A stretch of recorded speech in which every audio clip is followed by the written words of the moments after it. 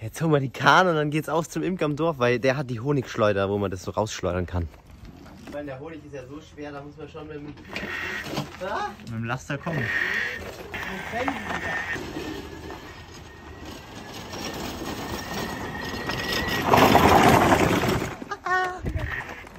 ankurbeln. Häng mal hoch. Ich schau mal, ob ich das wählen darf. Kann ich ein Bild mit ihm machen? G. Was, was willst du? Was Ich will ein bist Bild du? mit ihm machen. Was bist du?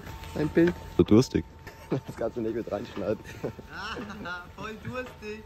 Was hast du gemacht? Was hast du gemacht? Hast du angekackt? Ja, Vorsicht, da ist eine Bremse. Ich sage, fahr mal schnell los, weil der Imker hat heute keine Zeit. Deswegen, äh, let's go.